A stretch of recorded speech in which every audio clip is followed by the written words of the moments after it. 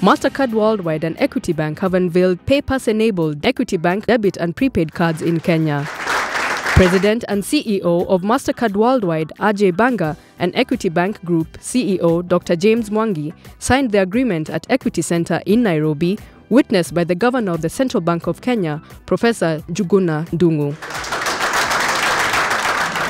This is a huge migration for the Equity Bank itself. 5 million Equity card holders is actually uh, like 47% of the total cards in the country.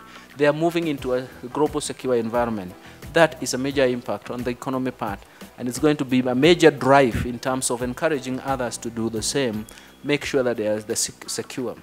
For me, and even all those income earners at different levels, both top and bottom, what you fear most is the security of your transactions.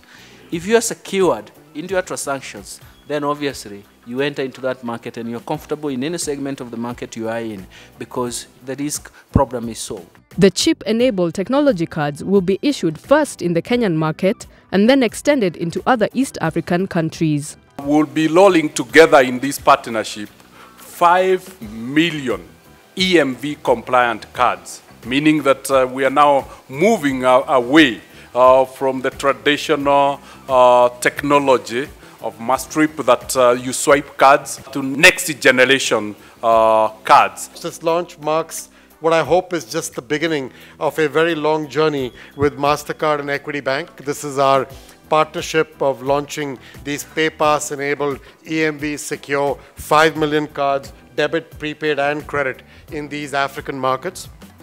It's also our first mobile point of sale launch on the African continent.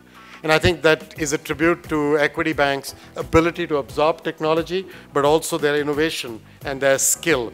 The agreement will see the largest rollout of EMV compliant payment cards in sub Saharan Africa, as well as introduce MasterCard PayPass with enabled points of sale terminals across the region. We have this technology being accepted uh, over 550,000 merchants, and essentially using near field technology.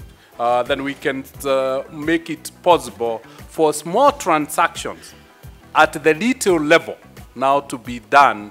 Instead of using cash, they can use the, the PayPass technology and uh, just uh, move on with uh, the transaction.